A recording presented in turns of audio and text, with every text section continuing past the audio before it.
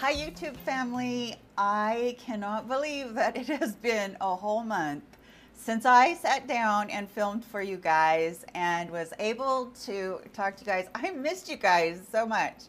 I am here today and it's the 1st of August and I am so excited to be able to tell you a little bit about my journey and the things that have been going on with me.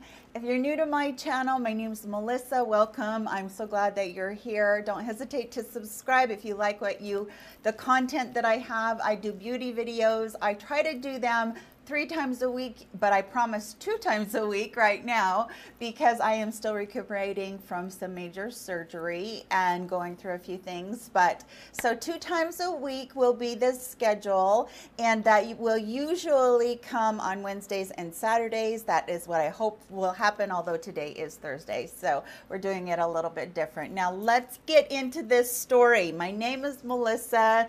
I'm a 51 year old beauty blogger, vlogger here on YouTube. I've been doing this for about three years. I have over 350 videos up. If there's anything that you would like to see about the mature woman, her skin, her makeup, little bit of hair in there, I have just about every video that you could imagine. Especially, I try to gear everything towards the mature woman, but a lot of these things, my tips and tricks, they always apply to just about anybody. So I would love to have you here no matter what your age is. I wanted to sit down today and just have a chit chat with my community because everybody that has been here for a while knows that I recently had bariatric surgery. I went through gastric bypass and I just did that on July 1st. And I went to Mexico, you guys. I'm going to just spew that all out there. Here we go. I went to Mexico to get it done. In Mexico, the bypass cost $5,500. In the United States, the cheapest actual price that I ever got for it was about eighteen to twenty-five thousand dollars. So I figured that you know this particular one that I went to had such good reviews and he has such a good track record that I would go down there and get it done. I will say that the facility was very clean. It is in Tijuana, just so you guys know. Yes, Tijuana is very scary place, but what you do is you get picked up at the airport in San Diego and they take you over the border. You are never out of their care in the whole entire time that you're there. You do have a companion go with you, which was my husband, and they um, take care of them as well. So you get a ride straight to the hospital, and then you get a ride to the Marriott Hotel in Tijuana, which was luxurious and beautiful. And then and you get taken care of like a queen there too, and then you get taken right back over the border to San Diego to fly out. So it was an adventure to say the least. It was very something that was very scary, you know, thinking about going to a different country to do this. But I did all of my research. You guys know I was talking to you guys all the time about everything that was going on. I was also in touch with people that could help me with my emotional part of it, which that journey is still continuing. And as a matter of fact, I'm kind of looking for a, a better therapist right now that would kind of fits me. If you guys know, have ever been to therapy, you know that you need to find somebody that kind of fits you better. So that's what I'm going through right now. But the surgery went really well. Um, I had, of course, the gas pain that you get with it because, you know, they have to fill your abdominal cavity full of gas in order to be able to look around there. So I had that. And you just walk, you walk your butt off. So for three days, um, you're in there at the hospital and then you transfer in your two days at the um, hotel that's right close to the hospital. So if anything happens, they can still keep an eye on you and then you go ahead and you fly home. And I flew home on a Friday and everything was going well. I was doing my walking and everything.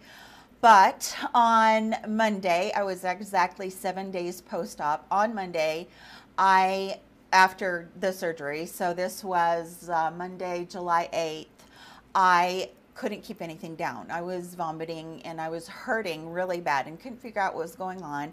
So I went back into the emergency room just thinking, you know, I was dehydrated or something like that was wrong. Didn't really think anything except for, you know, everybody says that you'll have some nausea, some some stuff like that. And went back in and sure enough I had a blockage. And the little town that I live in, well it's not really a little town, but they don't have the they don't have a bariatric surgeon here per se. So they took me over to Seattle And um, when I got to Seattle, I had this blockage that they were continuing to try and see if anything was past it. I had the lovely, um, you know, hose up my nose down into my stomach so that they could pump my stomach and keep my stomach clear so that everything wouldn't, you know, make that worse, that blockage worse. So they had me over there the first day when they transferred me by ambulance. And then the second day, I just was meeting with doctors, having tests done, that kind of thing. And the doctors and I decided that they might as well go in instead of just trying to do a scope down my throat and, you know, they might not be able to get to where they needed to get or see what they needed to see that we would just go ahead and have another surgery to be able to correct it because it probably wasn't going to be able to be corrected through a scope going down my throat. So we went in, that was Wednesday, I believe, was the day I had this surgery. And sure enough, I had a kink and there was also some tissue that was um, not tissue but fatty tissue um, kind of laid over and it had kinked it. And then there was a stitch one single stitch that apparently my body particularly just didn't like. And it was just kind of forming some scar tissue around there. So they cleaned that all up. And um, you know i had another surgery. And yes it just sounds like oh my gosh you went to mexico and you had to have another surgery. I don't believe that for a minute. I think that no matter where you have this surgery at, there is the possibility of complications and I just happened to be one of those people that had a complication. And so it was a difficult thing. I am not going to take this lightly and say, oh, people go out and do this, no problem, it's no big deal. I'm not going to say that because it was really hard on me and I was scared. I was so scared. I was scared going out of the country. I was scared having surgery because I haven't been put under since I had my daughter 20 almost 23 years ago uh, by C-section. So, you know, all of those things were they were scary. And then again, it was scary when I went ahead and, you know, had the second surgery.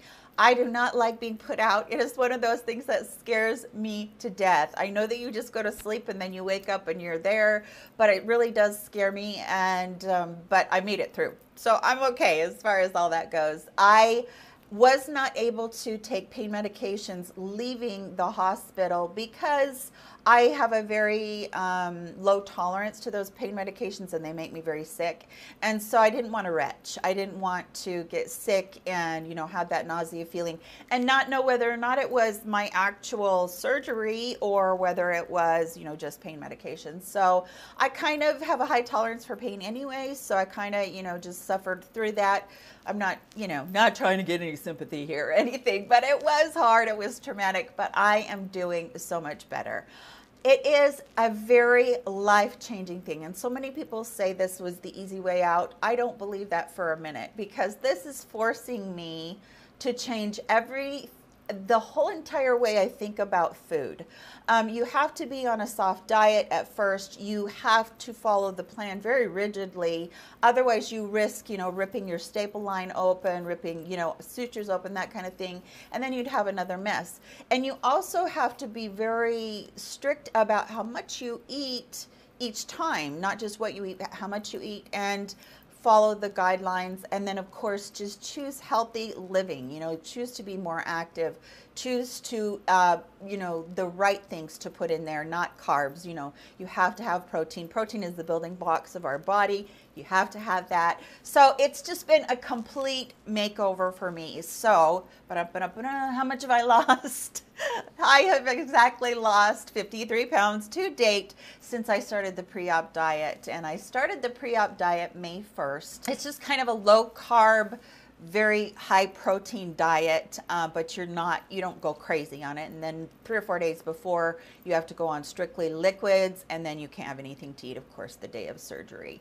So that is the story so far. And I've lost 53 pounds. I feel like a completely different person. That's like a small child that you're carrying around. So, yeah, that's a lot of weight. I do have a lot of weight still to lose. Believe it or not, guys, I still have almost 100 pounds to lose. And I know everybody's going to like flip out at that number, but I do. I was in the morbidly obese category, and that's why I choose, chose to do this, is because I had tried everything. I had tried every diet you can imagine. I had done keto for two years. I had done low carb. I had done Weight Watchers. I'd done Nutrisystems. I, I mean, if you if you can think about it, I've done it, and I just wasn't able to get a hold of it. Partly because I had so many other things going on. I also have fibromyalgia, as most of you know. I have trigeminal neuralgia, which affects the nerve right here that goes across your face. And I have um, chronic depression, anxiety, I have PTSD, and panic disorder if that's enough. anyway, I know that so many of you suffer with so many of those things, and I know that um, we have talked over and over again about how difficult it is when you start gaining weight and you already have a chronic illness that causes you pain. And that's really the reason that I decided to be so drastic about it was because I knew that my pain was being caused by my weight. You can't carry an extra 150 pounds around and feel okay or do okay in life. It is just really hard on your body, especially as you get older. I know that a lot of people, you know, there are a lot of TV shows and stuff. I'm not fat shaming in any way whatsoever. I've been a fat girl my whole life and I know how hard that is to live that life, but I needed to change in order to change my health altogether and just be a different person. So that's why I chose to do it. If any of you have any questions whatsoever, please find me on Instagram. Please find me on Facebook. You're welcome to private message me. I will be happy to answer any questions about going to Mexico, about doing um, bypass versus sleeve for me, or you know what happened to me after in a little bit more detail. I'll be happy to answer any of those questions for you. I'm still a newbie though. I don't have like years of you know, success under my belt yet. So hopefully I will be one of those in the long term that you can come to also and ask those kinds of questions and be able to, you know, we can chat whatever you need to do. I know that it is a very scary thing. I was scared out of my mind personally. But here I am and I made it and everything is fine. So please reach out to me if you if you need to in any way. Um, this community that I have right here, I want to speak on that for just a minute. I I'm not going to cry. I'm not going to cry. I promise. I was absolutely blown away at the amount of love and kindness and encouragement. And like I had this huge cheerleading squad behind me and this huge support system behind me. And I, I feel so blessed to have each of you in my life and the hundreds and hundreds of comments that you guys have given me and let me know, you know, that you were thinking about me and the prayers and all of that. And I, I thank you from the bottom of my heart. And I, I felt so much love and so much joy during that time, even though I was hurting. I just felt so good about having this little community that I have. And I just want to say thank you over and over again and tell you how much I do love you. I don't say that lightly. I know that every YouTuber feels that. And unless you're on this side of the camera, you don't quite understand because it's it's powerful in an age of when we see so much hatred in the world and so much violence towards people, it's really powerful to have that kind of reassurance that there are really, really good people out there. And by and large, the majority of people are amazing. And you are all amazing to me. And you will always hold a special place in my heart. And there are so many of you that I have made such a good, such a huge bond with. And I just want to tell you that you're and I just want to tell you that you are amazing. You are wonderful. You are, you take my breath away because I feel like at times when I couldn't breathe on my own, when I felt like I couldn't go on, I went on because of all of your encouragement. So I just wanted to tell you that. And by the way, my GoFundMe page, my what happened on that second surgery is my husband had to take off a whole week of work and my kids were taking off from work and it was so expensive over in Seattle and we just hadn't prepared for that. We had prepared for Mexico. We were all, you know, we, we took vacation time, all of that stuff, but we weren't prepared for the second bout of it. And that's when I did the GoFundMe page on Facebook and I was just absolutely I still can't believe what happened. I still can't believe the outpouring of financial assistance that you guys gave me. And it wasn't just the assistance behind it, it was that the care. And I felt like, you know, it helped me not only realize how many friends I have and how blessed I am and how joyful that makes me, but it also made me realize that I want to be there for other people too more. I mean, I try really hard to always be there for people, but I want to make sure that when other people are in need that I can do the same and pay it forward. If you guys watch that movie, I love that movie.